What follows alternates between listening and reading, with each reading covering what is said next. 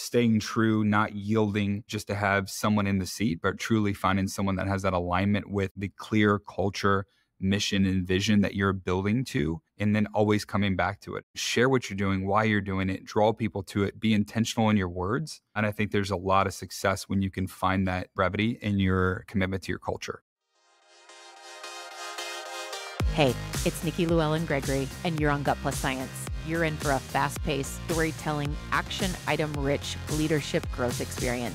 I hope you make this podcast a habit. I consider it a leadership mentoring tool. Learning together makes us better together, and that is how we change the world around us. Let's get to it. Well, hello, and get ready for a behind the curtain type conversation today as I chat with my friend Matt Kistler, who oversees mergers and acquisitions at Alera Group, a pronounced people first holistic insurance agency, meaning they do employee benefits, property casualty, retirement, and wealth management type of services.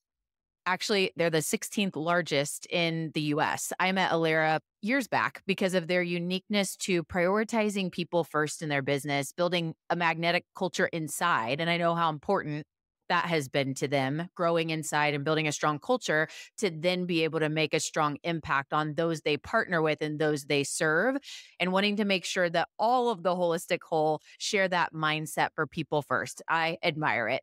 So, Matt is in the thick of scaling culture and communications as he recruits new firms to join, and the growth is really fast. So, how do we grow through acquisition and help all of our people have a similar cultural experience and be on the same page about what's important, telling our most important stories that keep our brand strong. That is a feat. So, Matt, welcome. We're going to dig in. I'd love to kick off by having you share your journey with acquisition work at Alera and the exciting growth, but also the problems that you're working to solve around scaling culture and communication during this really fast growth period. Yeah, Nikki, thank you for having me on. So, backing it up, how I got into M&A is actually really interesting. I graduated from Taylor University. If you want to back it up even further, you'll love this with a degree in biblical studies and an international missions focus.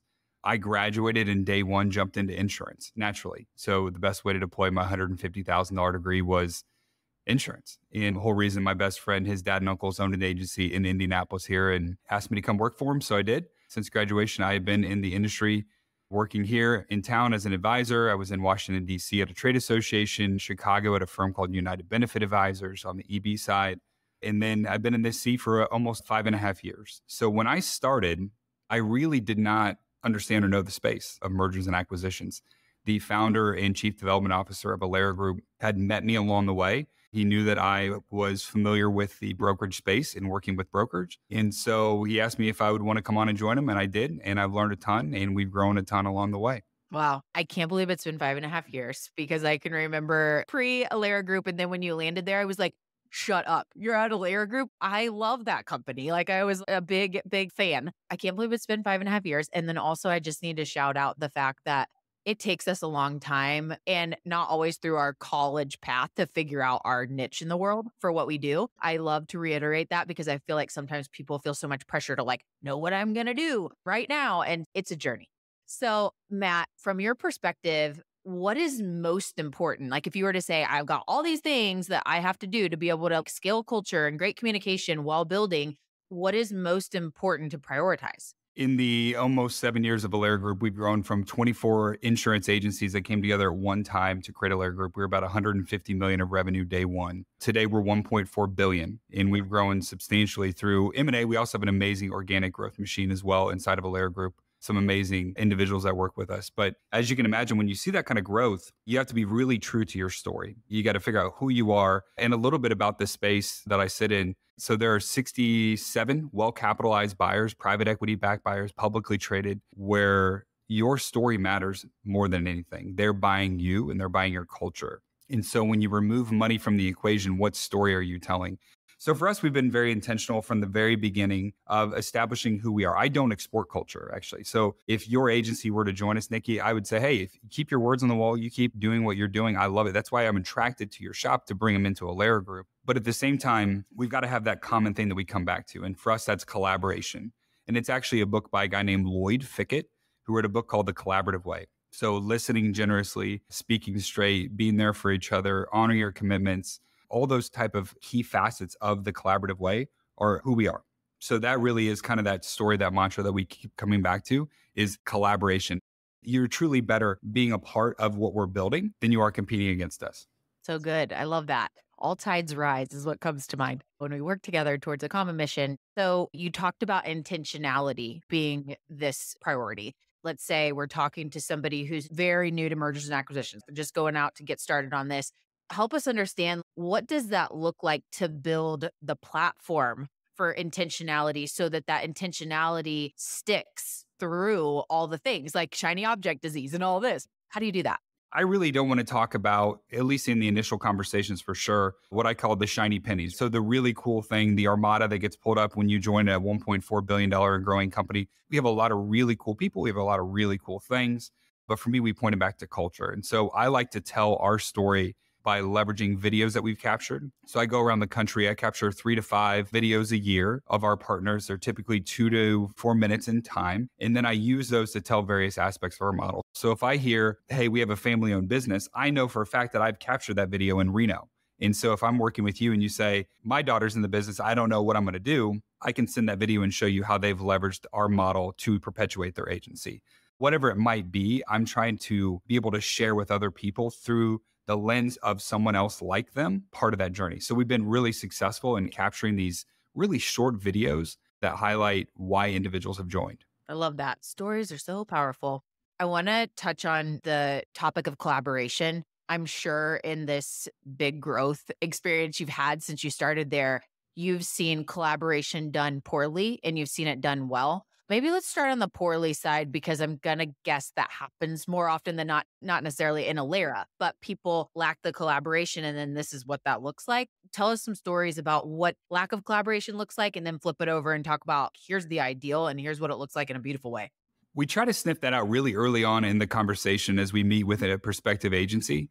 You'll hear a lot of, well, how much money is this worth? Or I'm really good on my own. I just want to be left alone. That's not a great model. There are others that will do that. There are other models that will say EBITDA is EBITDA. They would buy the shop, bring them in, and really don't care what happens in a collaborative environment. So we spend a ton of time up front making sure that we have alignment in the model because I know if I have alignment up front in this collaborative model, we will have success post transaction. So when you look at collaboration, one, it does not come easy, even when you first join something, right? So the inherent risk of collaboration is you're risking something. If we collaborate, I'm risking my reputation or mm-hmm. my client for you to come in and help on another side. So that does come in our model and any other model with time. What has to happen is you have to go to the events, you have to meet people, you have to sit through things, you have to be connected, you have to build the trust and rapport of your colleagues. So that really is something that takes time in our world or anyone else's world. And we're pretty intentional our president Jim Blue would tell you we create collisions, which is getting two really great people together in a room and seeing what happens. And so if we can continually do that on a national level, this idea that I might sit here in Indianapolis and let's say I might be a really great employee benefits professional, but my client might need my ERISA attorney out of Chicago. They might need our actuary team out of Boston. They might need Mary Delaney here at Vital Incite on data analytics. It, it could be a team that's collective across the country. And so when you really learn that the power of our model is stepping out of your own four walls and joining this collective that is Alera Group, that really is where your clients are in a much better spot than they were prior to you being a part of us. I'll lead you with this. Navy SEALs talk about always improve your fighting position. Don't just stay stagnant, don't just stay still. And that's the whole mantra that we push. And that's true with our marketing when we talk to firms. Like we're always trying to find and reposition ourselves and tell that story. It's true when firms join. Don't just say stagnant. Don't just sit in your own four walls. Get out and meet people. We have some amazing people coast to coast. So we're really trying and I'm really pushing people to improve their fighting position because it's a competitive landscape. As anything in sales, I have amazing competitors that are really sharp at what they do. We've got to outmaneuver them we've got to be able to provide a better service to our clients. Otherwise, none of this makes sense. Thank you for sharing that. My notes that I captured here and see if you want to add anything to it around collaboration is the core to a successful partnership. And it starts with vetting the partnership well, recruiting the right partners, and making sure you know those qualifiers and sticking to them and taking time on that. And then sustainability in collaboration comes from consistency and regular deposits of trust. What else would you add there? I would add that individuals need to know what they're doing. What's the mission? What's the vision? Why am I coming into work? I will tell you that gets harder and harder. I had somebody describe it to us just this week. I was having coffee. He said, Well, you start as a relay team, then you go to a basketball team, and then you go to a football team. And as you continue to grow, like you knew the person on the relay team, you were handing the baton to them. And then we became a basketball team, and there's more people that are coming in and out. And now we're a full fledged football team. And I have all these people that are interacting, and I have special teams coaches and quarterbacks and running backs. So, how do we really bring them all together? And that collaboration is really the only component that allows us to do that making sure role clarity is crystal clear as you go in together. In what story are they out there pushing? What are they coming back to as that source of truth? That is the key. If I have 250 different variations of my source of truth, no one's in a better spot because there's a dying to self of sorts. Like, hey, my shop was really good prior to joining Alera Group, which it was. That's why we paid a lot of money to bring you in. But now, if you're a part of this, what is that collective story and then how do we harness that together when we find that when we find advisors and owners that understand that explosive so, as you shared your background in what you went to school for and just the journey through the employee benefits world, you hadn't done mergers and acquisitions up until this, or that wasn't a main focus. So, who is modeling the way for you? Can you share someone that is doing these efforts well. You look up to them, they're mentoring, and you're seeing your opportunities to replicate what you learn from them.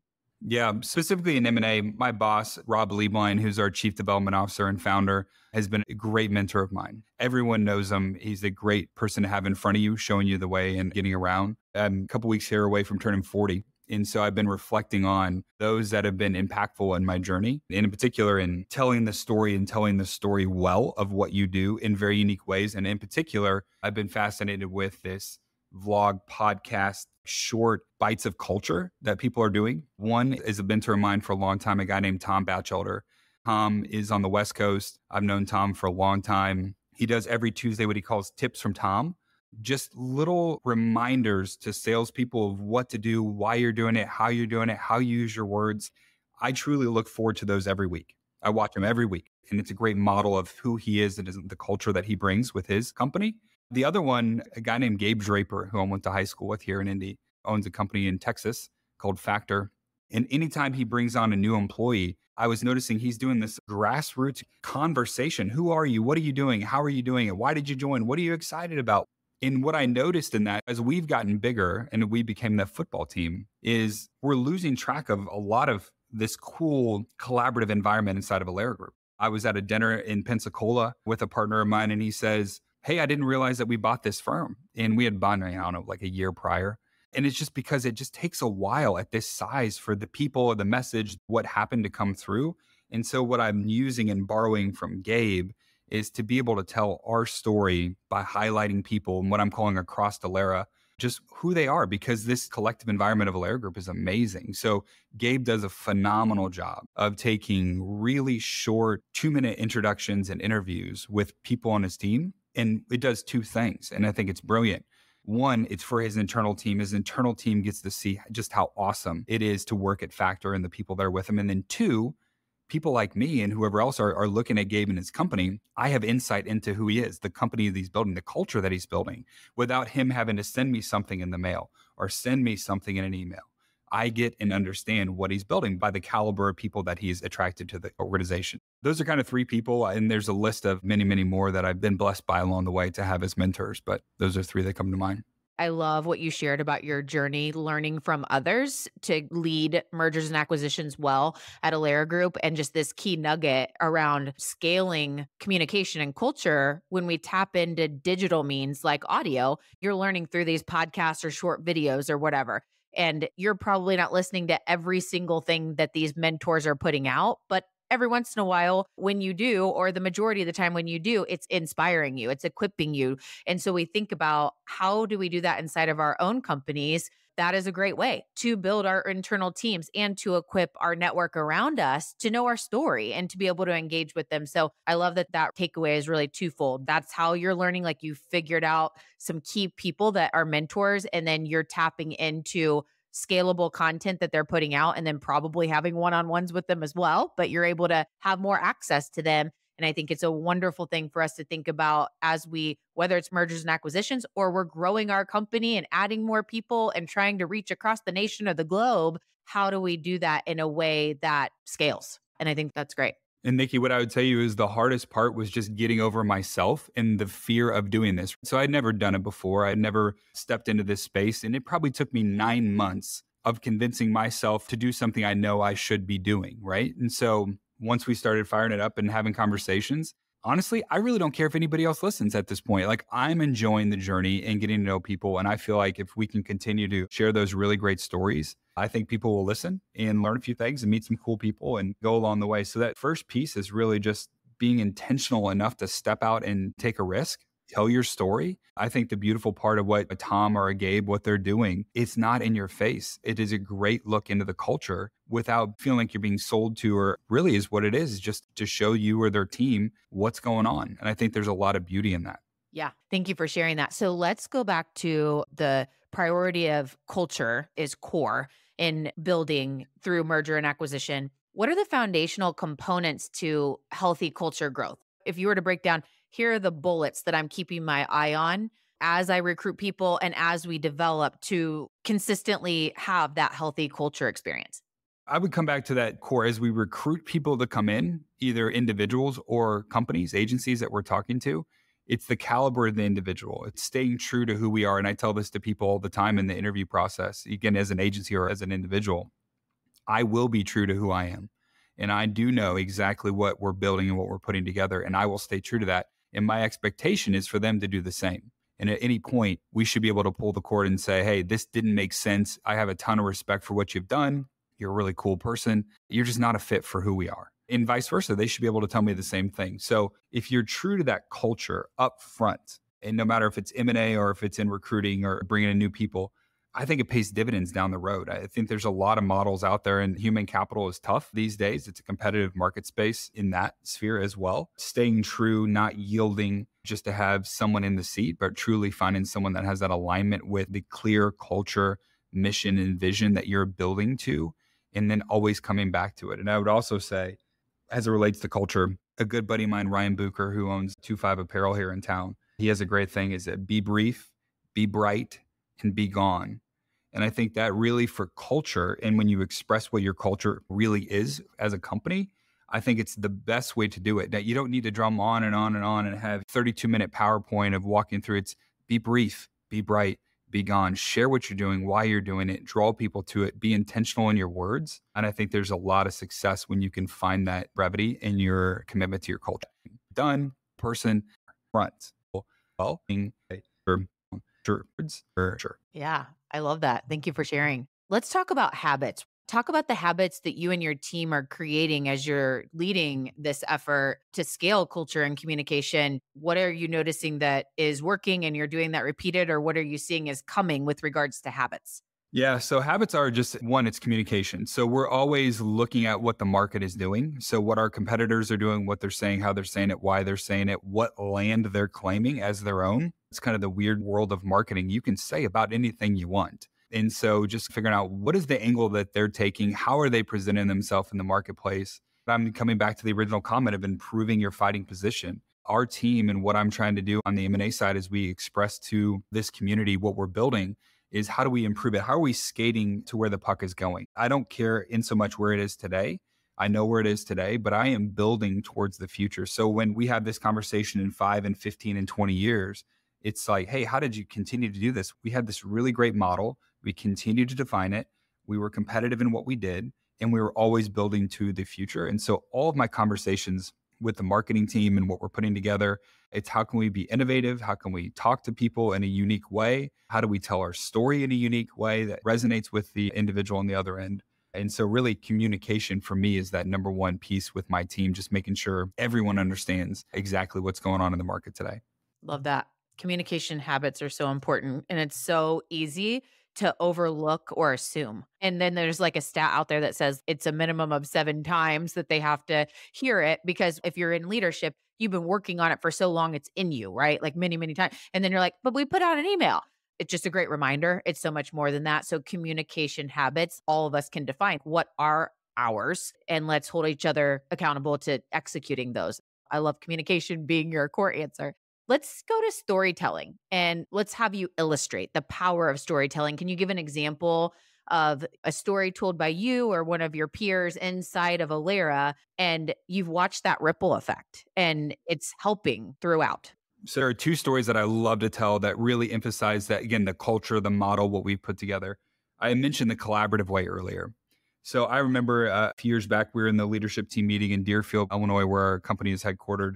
Our CEO was talking and he was expressing his opinion on something. And our chief legal counsel, a guy named Peter Marathas out of Boston, he chimes in and he says, Hey, Alan, you're not listening generously, which again is one of the key tenets of collaborative way.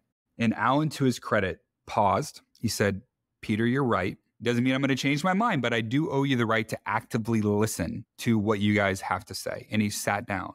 And at that moment, that's when I knew, culture wise, this isn't just like, oh, we have the collaborative way. Oh, we listen in generously. Oh, we speak straight. It's actually ingrained from the top down. So that is one story that I love because I think it just underscores the exact culture that we're building at Alera Group. The other is we have this really cool component to our company that's called profits interest. It's not necessarily unique to us, but it's one thing that I love where we can get equity in Alera Group into the hands of non equity holders in a tax efficient manner. So why that's important is as multiples have grown for these insurance agencies is really difficult to get Sally down the hall who's been with you for 20 years and is your right hand a piece of what's called the action, right? To get them engaged and involved. And when you come back to collaboration being that key component of my model, I want Sally down the hall when she gets a call from me to answer the call as an owner, to be like, yeah, this is amazing. What's up? How can I help? And so what we've done is we've created this profits interest center where they can benefit from the growth of the equity of the company. So I was in Newport Beach right before COVID at our shop there in Orange County and walked up to the front desk. I believe her title was Director of First Impressions, which I still think was pretty awesome. I walked in, I said, Hey, I'm here to see the managing partner of the office. And she called back and she leans over and she was like, How is the Alera Group doing? And I was like, I don't know, man, it's going well. We're doing great. We're bringing great firms in and doing good stuff. And she leans in closer and she was kind of like, No, no, how is the equity doing? And so for her, she was a part of this profits interest component at her age to be able to be blessed with the opportunity to be a part of the ride as an equity holder in Alera Group was invaluable. It's truly life changing stuff. And so I love that we have that component that individuals from the director of first impressions to a $5 million producer all have this same ability or this same access to be a shareholder in what we're building because I believe that that component, being a part of the equity of Alera Group, truly helps drive in our world a lot of this collaboration that happens. And so those are two of my really favorite stories of what we built here at Alera. That's really good. And I love to hear stories about employees taking ownership, very proactive, excited to know the news because they're part of the action, as you said. I love that. Awesome. Okay. So, Matt, before we head over to our lightning round, can you leave us with a challenge to these leaders that are listening to help them better scale their culture through their growth, whether it's M&A or just fast growth? What's the challenge that you want to leave with them to put them on their toes, if you will? You got to step out and take a risk. What I have found is most people in marketing or in podcast or stepping out and telling their story have a hesitancy because it's a new wave, it's a new technology, it's a new concept. What do I say? What if it flops? Like none of that matters. That's what I would tell you. If you're committed to the culture and you want to tell your story, even if it's to the 42 people on your team or to the 4 million people on LinkedIn, it really doesn't matter. Go out there if you feel compelled to tell your story, do it in a meaningful way. And if no one listens, you'll get better. You'll hear the story. And if other people listen, amazing. But really, you've got to take this step. You've got to just start moving and you know in your heart of hearts that that's something that you should be doing. You should challenge yourself to do stuff that makes you uncomfortable because I think the result will be amazing in the end. Yeah, amen to that. Plus one. Love it. Matt, this has been awesome. Thank you so much. We're going to take a quick break and then we'll come back to our lightning round so we can learn a little bit more about the personal side of you, some things that many of us, I'm sure, don't know yet. So we'll be right back. Shout out to the Talent Talks podcast by Titus. Show host Jonathan Reynolds, CEO of Titus Talent, brings a unique blend of fun, humor, and passion. Jonathan's vibrant energy shines through the microphone as he engages with every guest live, creating a captivating synergy. Jonathan collaborates with each guest to delve into topics that empower leaders to make optimal hiring and engagement decisions from a people first lens. You got to give this podcast a try. Talent Talks.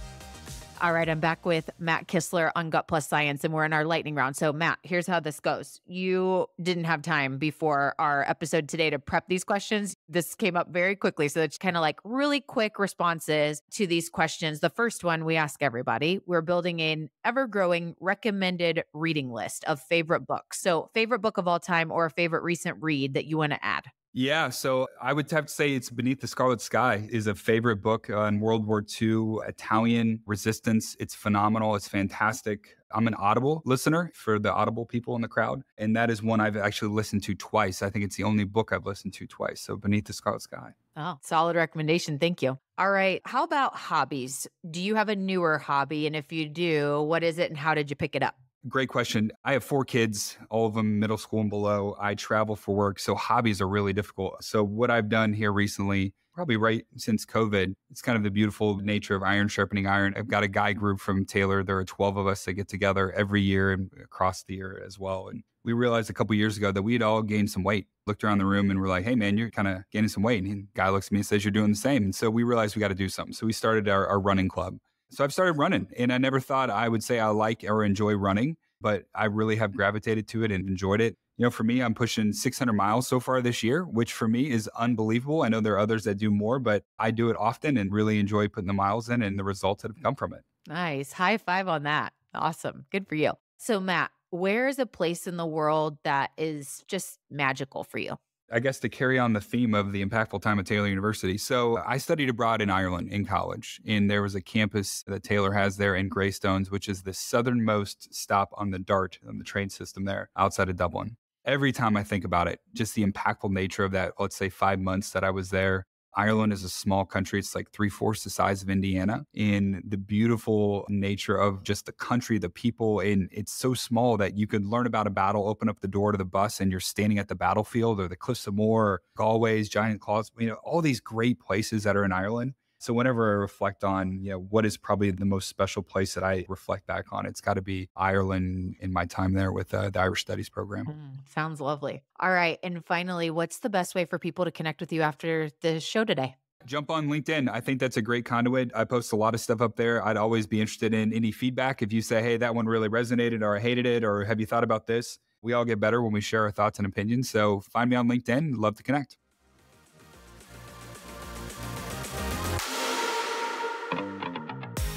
Matt Kistler, thank you so much for joining me today on Gut Plus Science. Here's my truth you can act on. Number one, intentionality is the priority when building a company via mergers and acquisitions. Actually, intentionality is the priority anytime, right? We're building a business, but especially during mergers and acquisitions. Culture is core to recruiting partnerships and keeping that the center focus of your intentionality is so powerful. Number two, Collaboration is key to successful partnerships, and it starts with recruiting the right partners. We must know our qualifiers and stick to them. And sustainability and collaboration comes from consistency and regular deposits of trust. Make sure that role clarity is crystal clear. Number three, identify mentors and engage in consistently learning from them. Anytime we're stepping outside of our comfort zone, doing something new, well, anytime. Mentors are just so powerful. Who's already gone there and done that? And identify those people and find a system for learning with them. Number four, consistent learning and development content shared through digital means like podcasting to reach all of your people as often as you can to inspire and equip them. This not only builds your internal team efforts, but equips your network and all that surround all the people inside to engage with you and share your story. And finally, number five, one of the most important habits as a leader communication. Make sure you define your communication habits and stick to them. It's so easy to overlook, like, gosh, haven't sent that team email in three weeks or whatever. Having your consistent efforts and making sure you stick to your habits when it comes to communication builds some pretty incredible outcomes. We'll see you next time.